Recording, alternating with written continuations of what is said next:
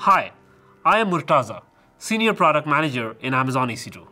I'm here to talk about AWS License Manager. It is a service to help you easily manage licenses from a variety of software vendors, such as Microsoft, Oracle, IBM, SAP, and others. You can stay compliant based on your license terms and get more out of your existing investments. You can centrally manage licenses across AWS and on-premises and across your AWS accounts. License Manager helps you define licensing rules and enforce those rules. You can specify how licenses should be measured, whether it is by vCPUs, cores, or physical sockets, and set up usage limits. You can also search your software inventory and track usage through their lifetime. AWS License Manager keeps track of instances impacted by the rules and sends alerts for violations. Finally, you can use the built-in dashboard to easily report usage and true-ups and audits.